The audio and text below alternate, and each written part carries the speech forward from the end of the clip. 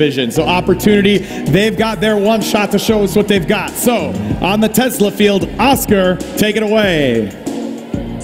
All right, thank you, Grant. We're here on the Opportunity Field, Tesla Field here with the Opportunity Division. They were the third seed team in their division. They're here to take that opportunity to introduce our teams here. Team 81020A, Beijing Bayi School 1 from Beijing, China.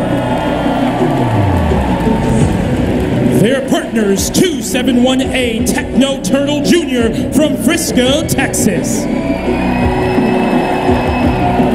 All right, ladies and gentlemen, I'm ready to take away these teams. Ready to take away. Are you ready? I don't think I can hear you. Are you ready? Let's get this match started in three, two, one, go! Teams are off. There we go. Techno Turtles going for that yellow dispenser. Their partners, Beijing Bayi School 1, clearing out the purple dispenser here. These teams are moving quickly and efficiently, taking every opportunity they have. 40 seconds left. There we go. All our dispensers are cleared. Discs are being launched under the fence into that green goal zone. Drivers, you must switch. Here we go. We've got five seconds left here to switch. You've got two seconds left to switch. Disc are being fired. There we go. We've got a lot going into that green goal zone.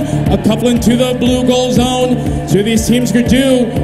Firing disc off a disc, trying to get more into that goal zone. 15 seconds left. Both teams are in the expansion zone. We've got two green contact bonuses. And that's going to be our match with six, five, four, three, two, one, time.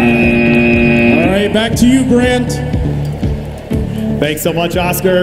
That was a that was a quite a match. That was quite a match. it was. So I'm here with one of my friends, Paige. Paige, what do you do here at Worlds? Yeah, so I'm one of the judges. I was also a judge advisor for the virtual interviews and for the DEN notebooks as well. Okay.